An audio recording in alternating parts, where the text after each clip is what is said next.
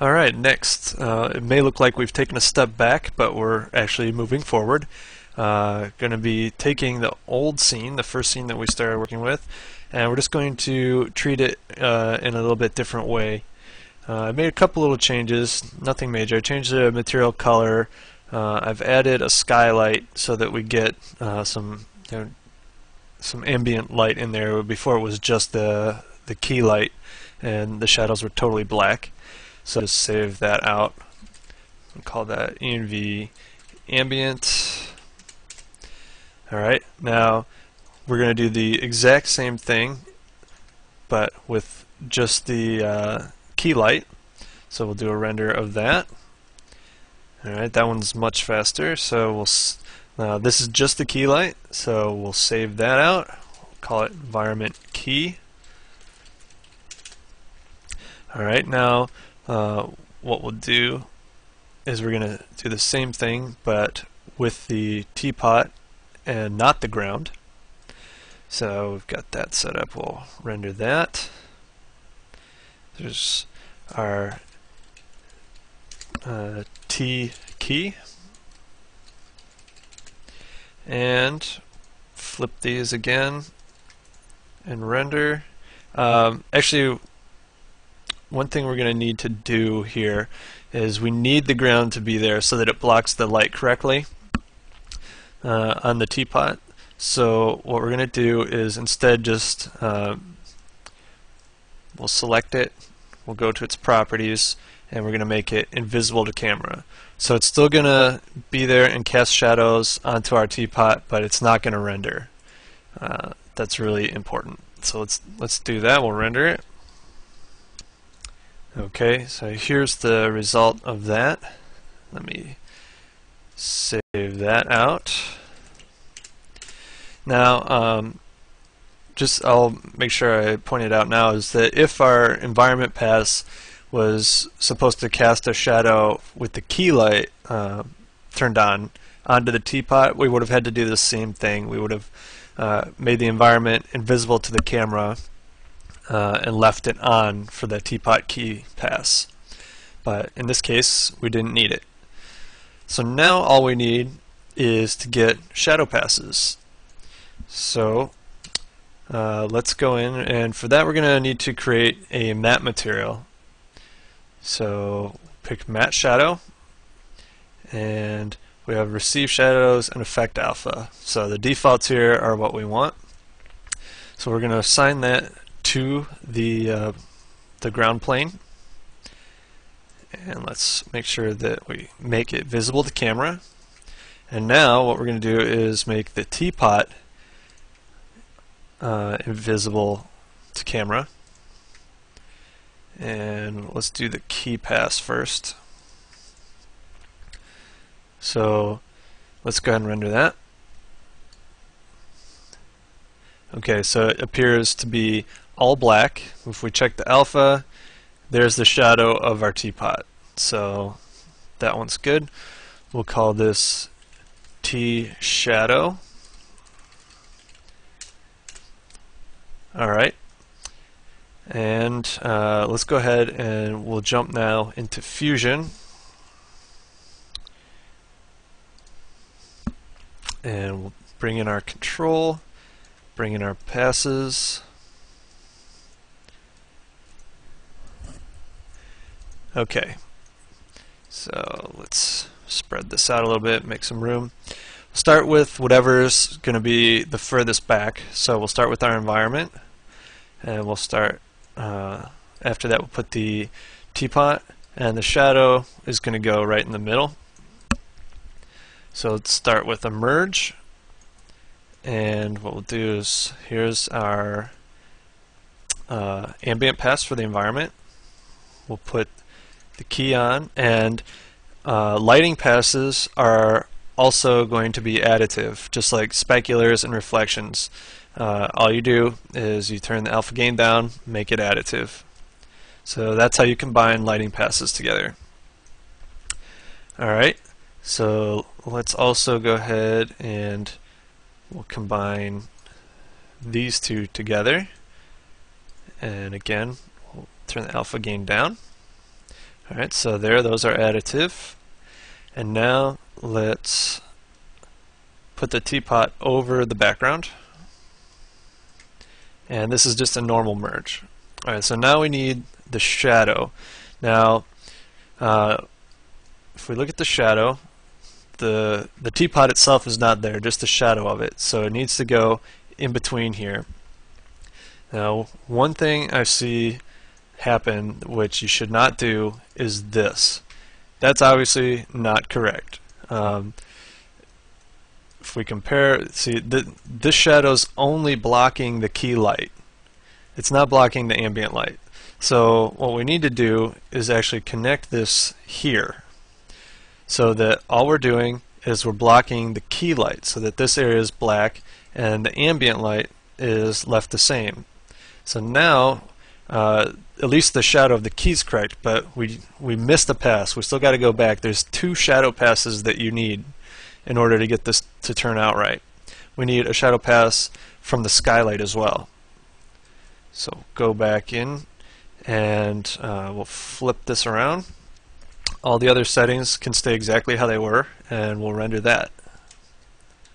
Alright, so that, that render's finished now. If we check the alpha channel, we have just the shadow of the teapot from the skylight. So let's save that guy out. Uh, let's call that contact shadow. So now we'll go back in here, bring in our new pass, and remember that needs to occlude only the ambient lighting. So there we've got this, add the key, add the teapot, and you get the exact same result as if they had been rendered together. But now what's fun is you have control over the lighting of this scene. Uh, you can you know change the light uh, light color, light intensity, whatever you want. So you know if you uh, use color corrector here, if you wanted to change the color of the key light, on just the teapot, you have that control. You can do whatever you want with it now. You can make it brighter, whatever. So uh, it's nice. It adds a lot of flexibility for lighting shots. And this is actually very much the way that uh, things are usually set up in the projects that I work on uh, professionally. So you know, I, I highly recommend this workflow. You you don't need to separate things necessarily like we were before with uh, diffuse and lighting and uh, all those separate passes. I mean this I mean this pass was rendered with the specular in it already. Uh, if I had a problem with the specular in the shot, I'd probably just go in and tweak it in max and re-render it because it just starts to become a headache when you've got tons and tons of passes and you need to go back and make sure that you update the right ones and then you're saving out all sorts of frames on your hard drive and taking up space so uh, I find that this sort of workflow actually keeps the amount of passes to a minimum but still gives you a lot of control. Okay, so I've jumped back over to Max and I've added a little bit to our environment here, put a box in front of the teapot. Uh, just so we can show you how to set up matte materials so that we can get this to go back together properly and have the teapot, even though it's rendered separate, look like it's going behind uh, this box. So I've just given this the, the same material that is on the ground. Um, now really, the passes are going to be handled the exact same way as we did before, but what we're going to need to do is uh, when we render the teapot's passes, we're going to need to put a matte material on the environment so that it cuts out this part of the teapot. So what we'll do is I'll select my environment, put the matte material on there, and we'll just start by rendering the key pass just so you can see what it does here. So we'll render that out, and you know I forgot to um, make this guy. Ooh. Alright, my display's decided to freak out a little bit. Uh, need to make that visible to camera. Okay. So I'll render this again. And okay, as you can see, it's now cutting that, the box is cutting the teapot. And well, I have the shadows turned on there. We'll have to turn that off too. But um, you can see it's cut the teapot out. So what we need to do is in our matte material, we don't want shadows right now. Okay, so there you go. That's the new key pass. So let's see, that's our teapot key. Replace that. And uh, I won't bore you and make you watch the rest of these, but uh, I'll render them out and then we'll go back over to Fusion. Alright, I finished rendering uh, the lighting passes for the environments, but I have not done the shadow passes yet because they're actually going to be done a little bit differently. So, uh, what we need to do is I'm going to turn the teapot back on. Uh, we're going to make him, uh, well he's still invisible to camera, so make sure invisible to camera, and we're going to put the matte material on the environment. We want shadows again. Now, uh, let me render this and I'll show you uh, what the problem is that we're going to have to fix. If we look at the shadow pass, we've got the shadow of the environment and the shadow of the teapot together, which we don't want. We want just the shadow of the teapot. Uh, now the way to fix that is to change the properties of the environment so that the environment does not cast shadows, but it still receives shadows. So we're going to turn this off, and we'll render again. We look at the alpha, and there we go. Now we have uh, the correct shadow pass for the key light. So we'll just save that out. Uh, that was the T shadow. And just do the exact same setup for the skylight, which again I won't make you watch. Alright, that has finished, and here's the shadow of just the teapot on the environment uh, from the skylight. So update that pass, jump back into Fusion, and if we just reload all these, there you go. Everything comes in the way it should be. Alright, uh, one thing I would like to point out with this is um, we've got these shadow passes that we're putting on that we're not doing anything to. Let's say this is uh, the look we want for our final render. We we've decided to split it up into passes and we've rendered these passes. Uh, we're not doing anything to them. We're just combining uh, everything back together again so that it comes out looking like you know the well not that one but uh, the render straight out of Max. So if we're not doing anything with these in the comp, why render them? You know, we could probably create this just by taking the teapot and making it invisible to camera, and then we only have one pass. And the same goes for this. If the teapot was invisible to camera, then we could render the key pass of the environment and get this. And it's true that if we did that, this would go back together exactly right. There'd be no problem. Um, the reason why you might not want to do that is sometimes when your environments and your characters and scenes and everything are getting really complex, the render times start to become a problem. Now, it seems like if you had rendered these together, you're saving time because otherwise you'd have to render twice. But that may not be the case. Um, shadow passes just by themselves sometimes or, or often really render faster than if you had done an entire uh, an entire ambient pass again of the environment. You know, uh, so that's going to actually slow you down even more. So it's even though you've got more passes to deal with, it's often better because these passes usually render faster, and then uh, the environment is completely isolated and the character is completely isolated. So you, you don't have to, like if, uh, let's say the animation of this teapot changed after I had rendered everything, you know, I could just do these teapot passes again and the shadow passes, which are quick, um, instead of re-rendering all the environments passes over again as well. So you know, just keep that in mind. Uh, it tends to be better to split these out and keep them separate, even though it does create a little bit of extra work in the comp for you. Okay, I've jumped back over to Max and I want to just show you one more thing which you should be careful of. Um, I've deleted the box, I've turned the lights and everything back on, made everything visible again. Uh, let's let me just make sure. Okay, cast shadows. Um, one thing you shouldn't do, if you can avoid it, and often you can, is to render your environment passes like this. Uh, let me just go ahead and render that and show you what I mean. Let me uh, I want those off.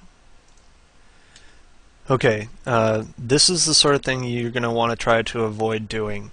Uh, what I've done here is I put the matte material on the teapot while rendering my environment pass. And if we look at the alpha, it's cut that hole out. Now, you you may think it's it's not a problem because you're just going to put the teapot back on top of this. So let me just save this out. Okay. And I'll load that in. Alright. I'm just going to disconnect this. This is our uh, teapot uh, teapot passes here. Ah, shoot, I need to re-render those. Hold on a second. Alright, excuse me, I had to uh, jump back there and fix one of my mistakes. Uh, so I've, I've rendered another beauty pass, which is just the teapot now. So we're just going to deal with these two for a second. So what we'll do is I'm going to merge this together and take a look at what happened. Alright, see? We're getting this halo around the edge. Now, the reason that that's happening is because uh, if we look at the alpha channel, remember, just like before, we've got these values that are gray in the alpha, which means they're partially transparent. And what we're seeing is through to the background color, which is black. So when we put this on top, that's what we're seeing. We're seeing the black. We're seeing straight through to the background.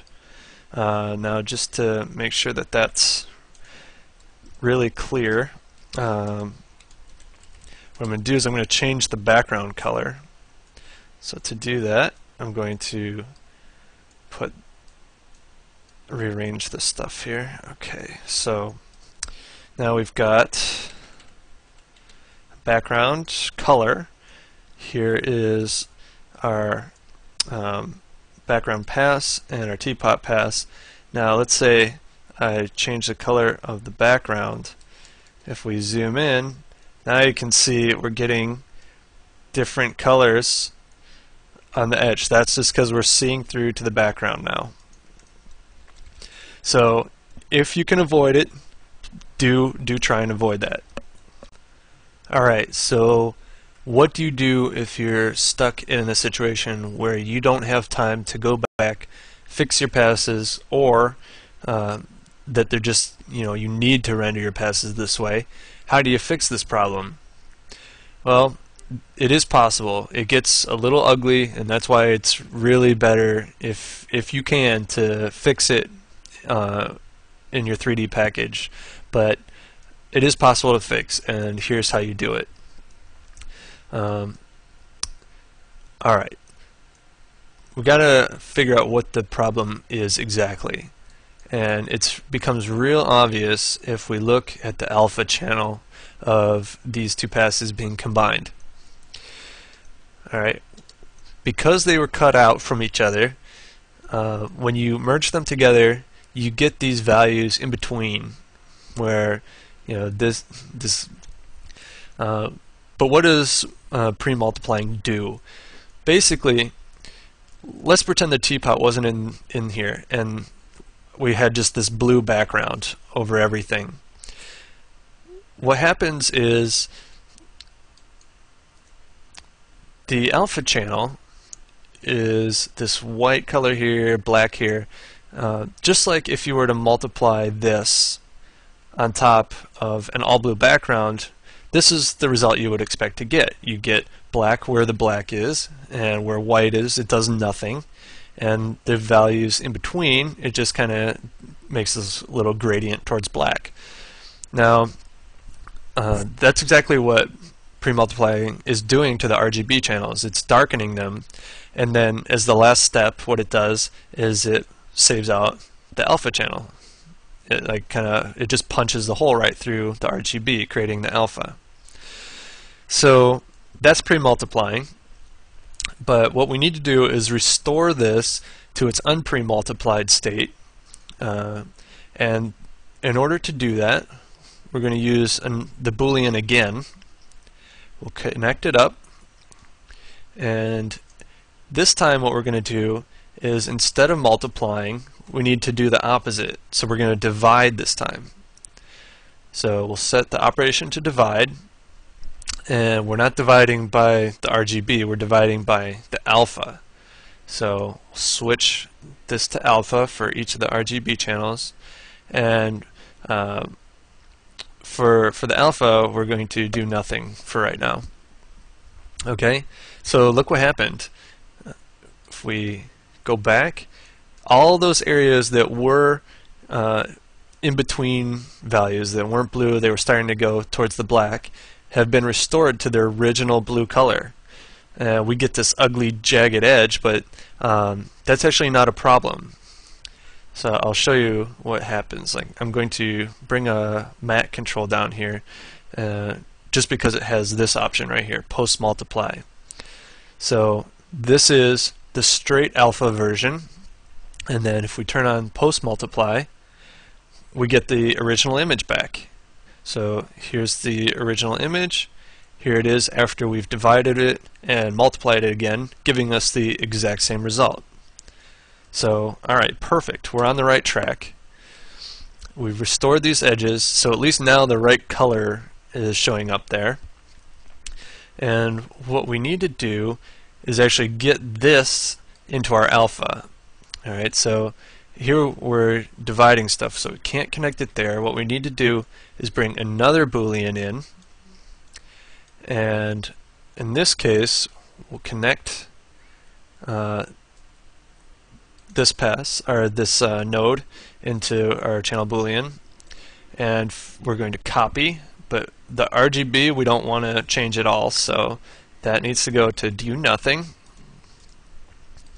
and the alpha is going to be the foreground alpha so if we look at the alpha channel now okay we've we've put this guy's alpha into this pass now so the RGB has our our uh, unpre-multiplied edges, but the alpha channel has the combination of these two. See how complicated this gets? You'd rather avoid this.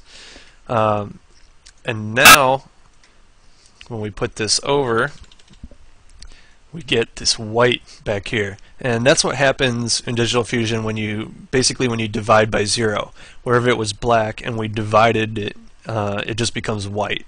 So we need to get rid of that. And to do that, we just um, we just bring this guy in, the matte control, post multiply, and that's giving us our background showing through. So, and here we still have the, our nice edges, our unpremultiplied edges with the white, which doesn't matter because we're covering it up.